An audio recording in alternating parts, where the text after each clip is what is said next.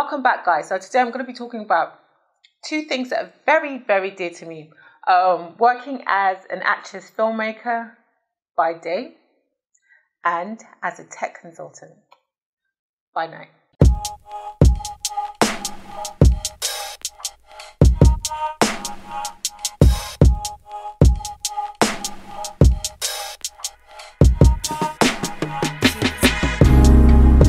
As you all know, if you um, know a bit about my history, you know that I worked in IT before I um, delved into um, the Nigerian entertainment industry, into filmmaking. And um, I did that for a number of years before I actually jumped ship. And um, it's something that I've always done. Um, never walked away from it because really and truly, the truth is, I feel that you need more than one skill to survive in life. You need to be able to diversify to several different things. You need to be good at a lot of different things. Um, that's just my philosophy. now, you all know the situation of the Naira. We know now 777, 777 to the pound. Hey! Hey! I don't know about you guys, but personally, I've got two homes. I've got one in the UK and I've got one in Lagos. And if you know about UK homes and you know about London living, the UK living, you know that you've got to pay. You've got monthly bills that you pay. It's not like Naija where you pay your rent for the year and that's it. And um, I'm, I always have to change a certain amount of money to um, sort out these bills. And I looked at it and I said, ah, oh, this is not sustainable. 777 to the pound. It has, it's grown from 590 all the way to 777 in less than, in about a year. Look, speaking for myself, it's not sustainable. I, I feel like it's important to have multiple streams of income, um, which I actually do, but I feel like if I'm gonna build to the point where I need to build and do things, um, and like build on a much bigger scale, you're gonna need the resources, yeah, to do that building. Um, I mean, it's life's good as an actress, as a producer, and most recently director. Thank you. I feel like I can be building a lot more, and in order to get to where I need to be, I need the I need the resources to do a lot of stuff. And then there's also businesses that I want to delve into, which need foreign currency. The naira cannot um, enable me to do those businesses. So if you're like me, who's constantly thinking of you know how to develop themselves, who's constantly thinking of the next thing to do, who's constantly thinking of you know the next project, you know you're gonna know that um, as you as you think about the next project, as you think about um, the next big thing that you want to do, you know that you you, you know full well it's going to take some backing.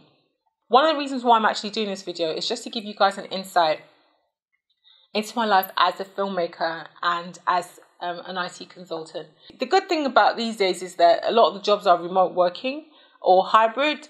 Um, in my job, the job that I do right now is that um, I I, I go into the office once or twice a week, but I'm predominantly um, at home. So, but like I said, this video is about giving you an insight into working in two different industries um, actress, producer, director by day, and IT consultant by night.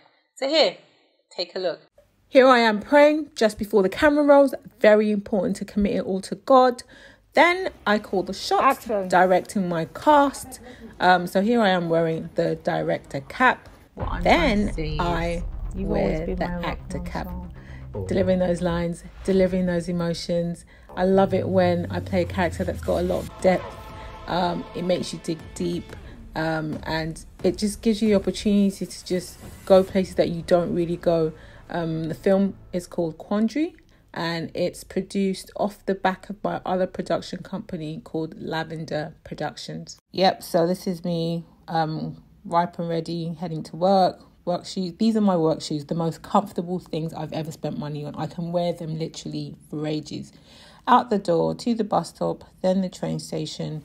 Um, my work's literally it's about um, one one stop. Yeah, one stop straight to work, and here I am, absolutely gorgeous, right in the thick of it, right in the middle. Um, of a number of different organizations and my office is literally probably maybe less than a two minute walk from the train station. Um, tomorrow, look at that, beautiful.